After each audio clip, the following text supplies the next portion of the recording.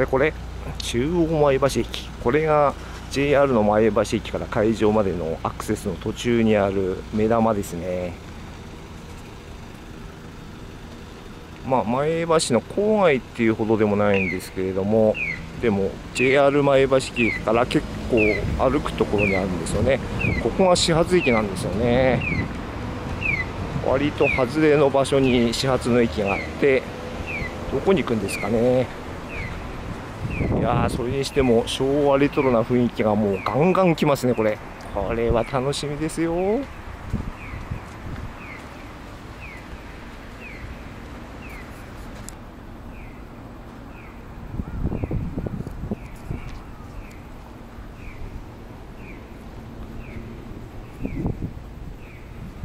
中央前橋、まあ、ここが始発になってて途中に赤城赤城山の方に行くんですよね赤城山を経由して桐生の方ですかねまあ、青森県で言えばあの、まあ、廃線になりましたけど十和田観光電鉄みたいな近隣住民の方の生活路線みたいな感じなんですよね。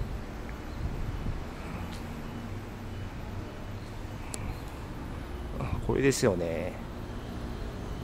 うん。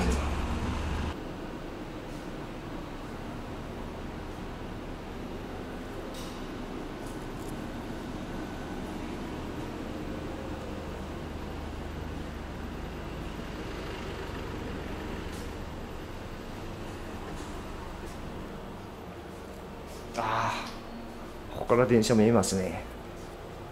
いいですね。風情ありますね。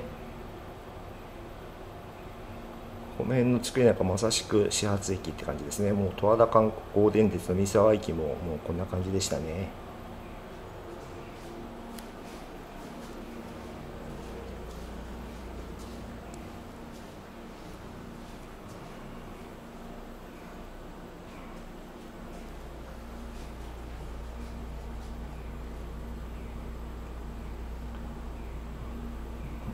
れ乗ってどっか行ってしまいたいですね。どっか遠く山の彼方に飲み込まれてしまうんでしょうかね。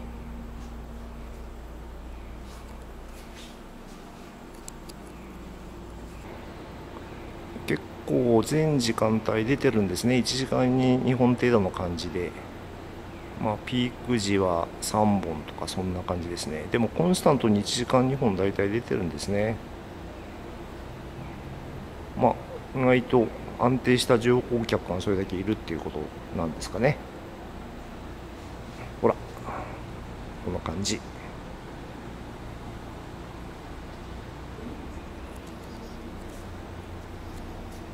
くらだろうね。終点まで行くと690円ですかね。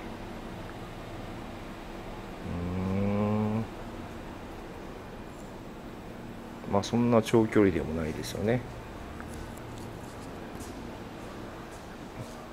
上電オリジナルグッズなんですがあまあとりあえずありましたね。現物がないんですね。なるほど。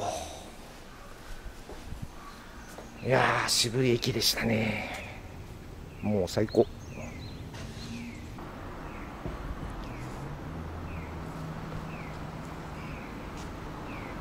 この駅周辺のこういう感じもいいっすね。